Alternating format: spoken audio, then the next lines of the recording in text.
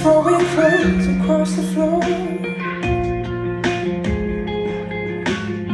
To cheating clothes and slamming doors at you.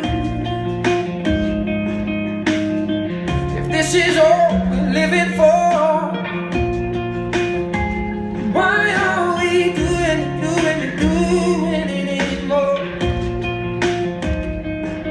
I used to recognize myself, it's funny how affections change.